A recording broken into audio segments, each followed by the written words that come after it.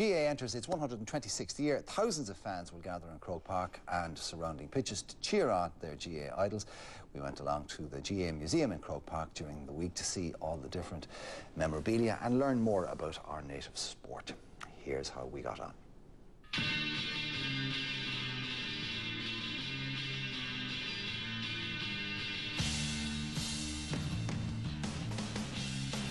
The Croke Park Museum opened its doors to the public in September 1998 when the former Taoiseach Bertie Ahern performed the opening honours. The museum was established to remember and celebrate the GAA's contribution to Irish sports, and it's a big one with thousands of clubs throughout Ireland involved in the association. We went along to the GAA Museum in Croke Park to take a look at the vast array of memorabilia on display for fans and tourists and also to catch a word with a GEA legend.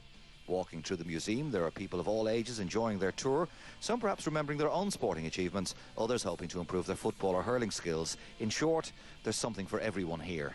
One man steeped in GAA history is All Ireland medal winner and ex Dublin player and manager Brian Mullins. The Dublin legend has won many honours throughout his football career. We caught up with him in the museum to see his favourite spots and why they are so important to him.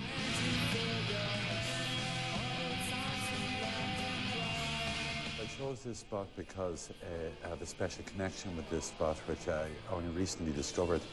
This jersey that's displayed here is actually a jersey belonging to my uncle, my uncle Bill Casey, who played with Kerry uh, for in eight All Ireland finals and won five of them.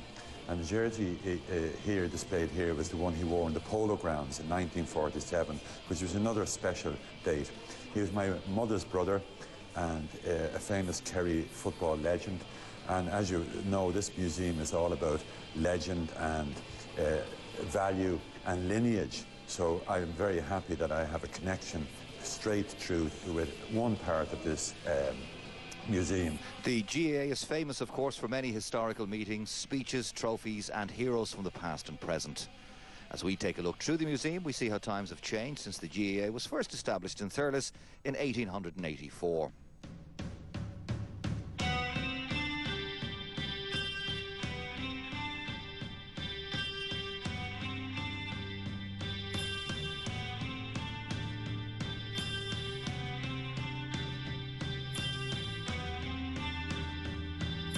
Most supporters in Ireland cheer on their county and clubs during the GAA season, but without all the volunteers in the clubs and counties, the GAA would not be where it is today. One section of the museum that Brian picked was the clubs and community section. Here he tells us why clubs are so important within the GAA infrastructure. I uh, love this part of the museum as well, and I suppose if I was to be asked where the favourite is, it's, it's here because this is, you know, represents what the term often used is the grassroots of the organisation, really. This is the parish. This is what uh, everybody has the opportunity to buy into, which is the local community, the local effort. It's great that uh, Croke Park and the GAA authorities give such an important place to the clubs as represented on St Patrick's Day by the club finalists. That's only one aspect of it. We have finals of other club competitions in Croke Park as well. As the GAA enters its 126th year, the museum will have thousands of spectators and tourists coming through its doors. It continues to grow from strength to strength. The museum has plenty to offer for the discerning sports fan. To contact the museum, you can log on to crokepark.ie or ring 01 819 2323.